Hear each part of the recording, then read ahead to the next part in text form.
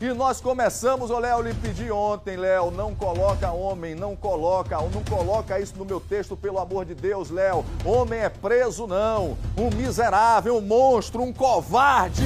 Tem que escrever assim, rapaz. Um covarde é preso suspeito de estuprar duas filhas menores e uma delas chegou a engravidar em Monte Alegre, lá em Sergipe. É um criminoso, não é um homem, não.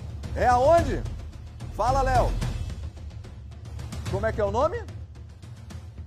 Monte Alegre de Sergipe, não foi isso que eu falei, não? Monte Alegre em Sergipe ou de Sergipe, meu amigo, 1 e 13 agora. Léo, eu sou muito calmo, Léo, pelo amor de Deus, quando eu, eu leio uma notícia dessa, meu amigo, olha, segundo a polícia, os abusos começaram quando elas tinham apenas 7 e 2 anos. Pelo amor de Deus, meu amigo, não coloca homem, não. Você bota já no enunciado assim, no cabeçário ali, ó, cabeçário, miserável, monstro, desgraçado. Acompanhe comigo aqui, ó, bronca na tela. Como conceituar um pai desta natureza? Ele é suspeito de usar sexualmente de duas crianças, as próprias filhas. Uma delas se tornou até uma namorada onde ele mantinha relações com essa criança depois que ela passou para a fase de adolescente.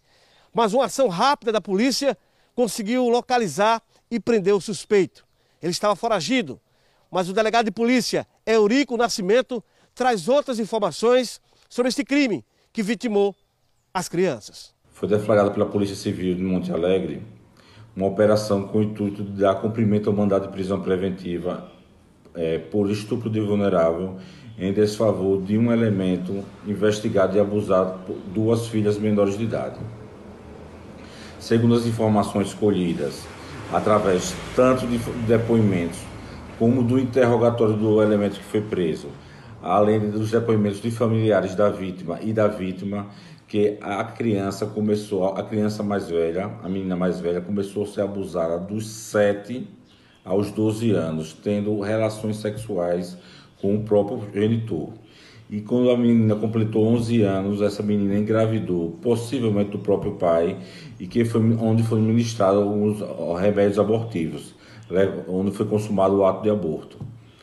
A criança ficou debilitada, com, dores abdominais, sangrando bastante, com febre, dor de cabeça e não foi encaminhada ao, ao hospital.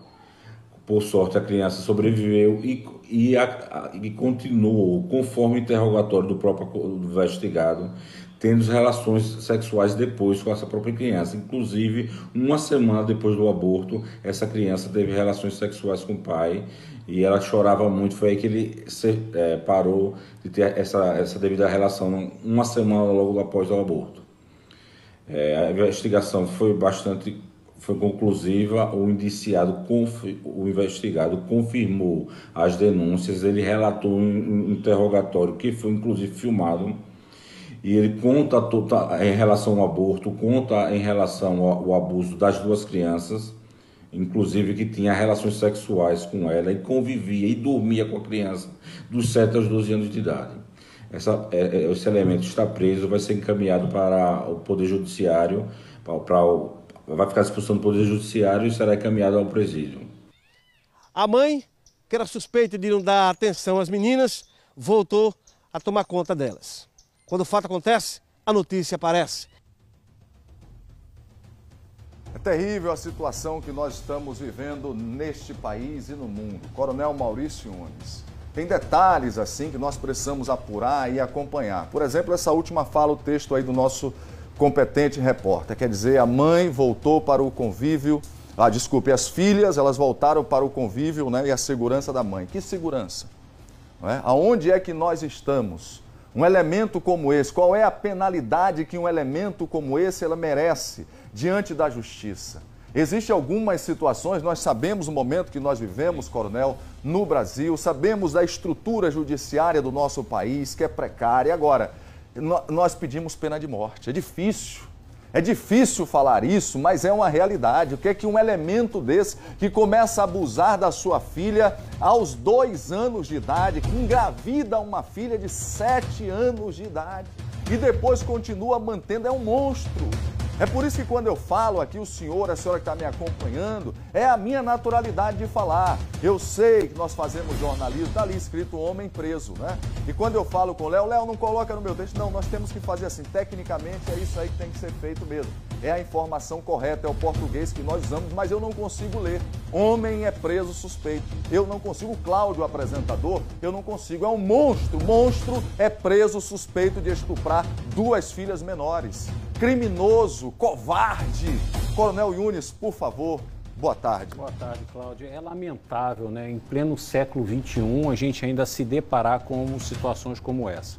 Mas é importante também que toda a sociedade possa fazer a cobrança e acompanhar tais situações. Até porque essas duas crianças precisam a presença do Estado para um acompanhamento maior e também que o Estado, no momento adequado, faça o julgamento desse homem e o deixe afastado né, da sociedade, porque se ele é capaz de praticar crimes tão bárbaros contra suas filhas, o que será que ele possa praticar contra a sociedade e pessoas às vezes que ele não conhece? Então a sociedade precisa cobrar muito.